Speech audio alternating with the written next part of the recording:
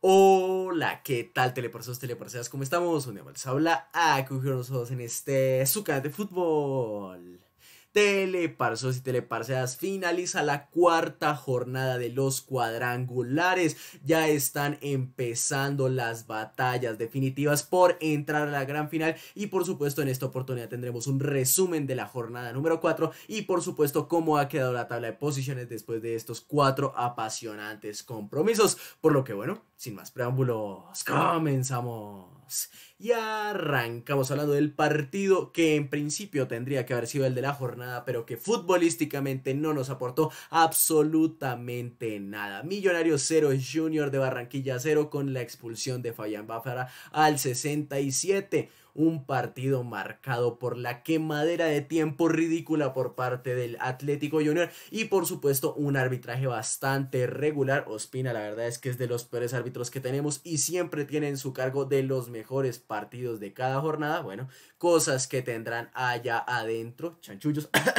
y por supuesto, eh, Millonarios que intentó más que el Junior, estuvo más incisivo, pero sacó el punto de oro el conjunto de Juan Cruz Real de la capital, que obviamente tiene que capitalizar en el Metropolitano, si no, no sirve de absolutamente nada. Y bueno, Millonarios dominó la pelota, estuvo más incisivo de cara al arco, pero las cosas no se le dieron. Buena respuesta de los defensas por fin del conjunto tiburón y por supuesto con esto ambos podrían estarse dando un autogolpe para, por supuesto, no clasificar a la gran final. Luego nos encontramos el Bucaramanga frente a Atlético Nacional. Dorlan Pavón al 62 puso el único tanto del compromiso. Bueno, un partido que hasta la acción de penalti bien sancionada por el juez central, nos encontrábamos a un Bucaramanga que lo intentó de todas las formas posibles. Fue mejor en el trámite hasta ese momento y sin duda alguna eh, merecía la anotación. Sin embargo, el fútbol no es de merecimientos, bien lo sabemos, y por ello no lograron marcar, fueron poco eficaces de cara al arco y además dominaron mucho la pelota,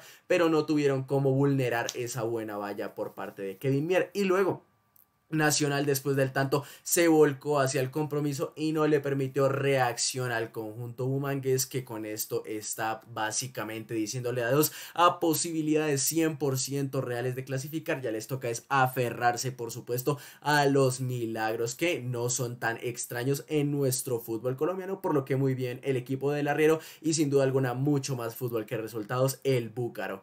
Y luego el partido que nos sorprendió a todos. La equidad seguros frente al Deportes Tolima. Cayó el conjunto de Hernán Torres, gol de Pablo Sabaj al minuto 46, gol de Camerino, con el cual el conjunto de Alexis García, la Alexis Neta, vuelve a estar en campaña por entrar a la gran final. Y no solo eso, sino que por fin hicieron un partidazo. La verdad es que las cosas se le dieron muy bien al profe Alexis, estuvo llegando mucho más de cara a portería, dominó la pelota, que es algo que no se le suele dar bien al conjunto de la Equidad Seguros y adicionalmente estuvo más cerca del segundo y del tercero que el propio Deportes Tolima de igualar las acciones del compromiso, por lo que sin duda alguna baño futbolístico hoy en el estadio de techo a pesar de la compañía de los hinchas tolimenses en el estadio capitalino. Y cerramos con el último compromiso de la jornada si llegaron hasta aquí, teleparsos, teleparcias, es porque les está gustando el contenido. Un like se les agradece enormemente, lo saben. Su suscripción, aún más, por favor, revienten ese botoncito que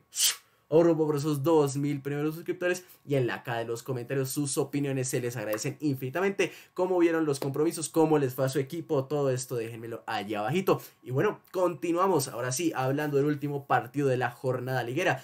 Medellín 2, el Envigadito 1. Andrés Cadavid, el GOAT del compromiso, el man of the match, estuvo con doblete, muy férreo en defensa, el capitano sin duda alguna de este equipo y el señor Ordóñez descontó para el Envigadito que en el juego. La verdad es que el Medellín estuvo superior, jugó bastante bien el equipo del profe Comezaña y no solo eso, sino que con esto resucita futbolísticamente porque para mí los últimos partidos que había tenido el Medellín fueron más corazón que fútbol y con esto, bueno, pues la verdad, intentaron, estuvieron cerca de más anotaciones. Las cosas es que, bueno, evidentemente ganaron, pero hubieran podido mantener una diferencia de gol muchísimo mayor que obviamente para una definición por tabla de posiciones en un cuadrangular, sin duda alguna que la diferencia es importante y el equipo del Envigadito que le dice adiós a las aspiraciones de llegar a la gran final en un partido donde se vieron súper y sin duda alguna vinieron un poco más a regalar puntos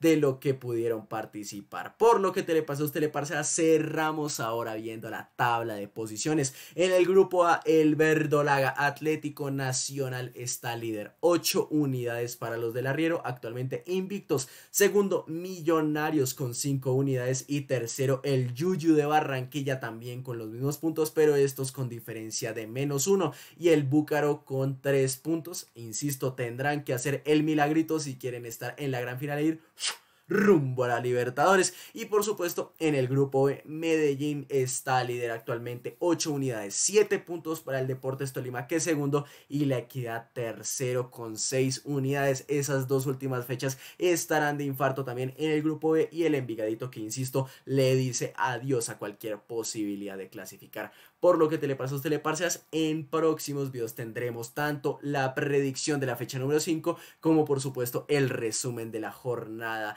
la penúltima de los cuadrangulares donde ya se estarán definiendo algunas de las acciones de nuestro campeonato para la gran final. Por lo que telepasos, teleparsas, ya saben, si les ha gustado su like, su suscripción y sus comentarios. Por lo que bueno, no siento más, yo me despido.